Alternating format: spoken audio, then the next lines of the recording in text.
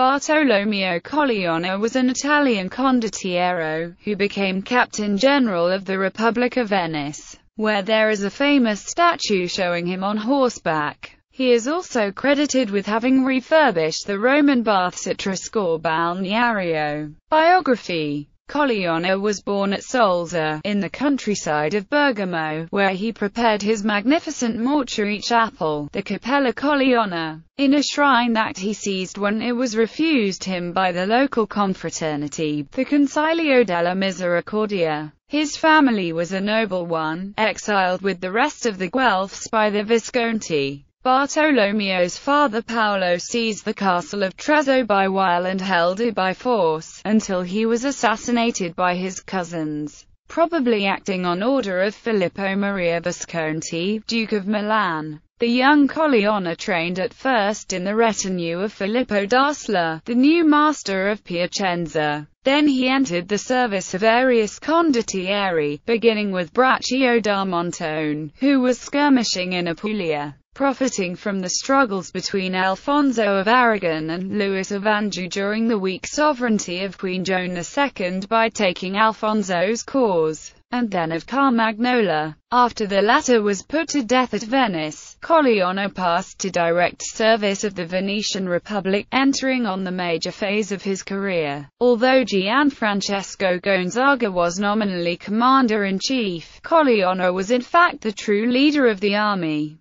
He recaptured many towns and districts for Venice from the Milanese, and when Gonzaga went over to the enemy, Colleoni continued to serve the Venetians under Erasmo da Narni and Francesco Sforza, winning battles at Brescia, Verona, and on the Lake of Garda. When peace was made between Milan and Venice in 1441, Colleoni went over to the Milanese, together with Sforza in 1443. Although well treated at first, Colleoni soon fell under the suspicion of the Visconti, and was imprisoned at Monza where he remained until the Duke's death in 1447. Milan then fell under the lordship of Sforza, whom Colleoni served for a time, but in 1448 he took love of Sforza and returned to the Venetians. Disgusted at not having been elected Captain General, he went over to Sforza once more, but Venice could not do without him. By offering him increased emoluments, Venice induced him to return, and in 1455 he was appointed Captain General of the Republic for life. Although he occasionally fought on his own account, when Venice was at peace,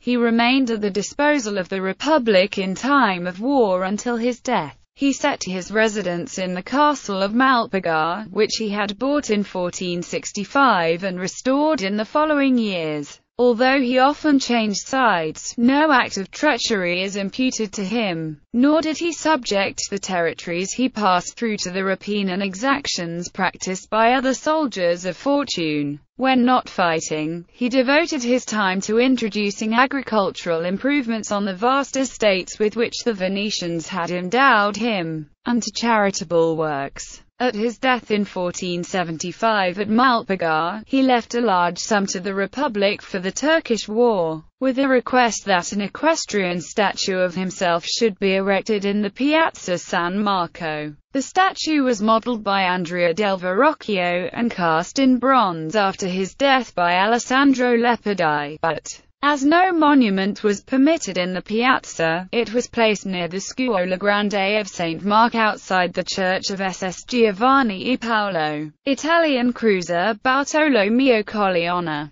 in 1930 the Italian Regia Marina launched a cruiser of the Condottieri class named after Bartolomeo Colleoni.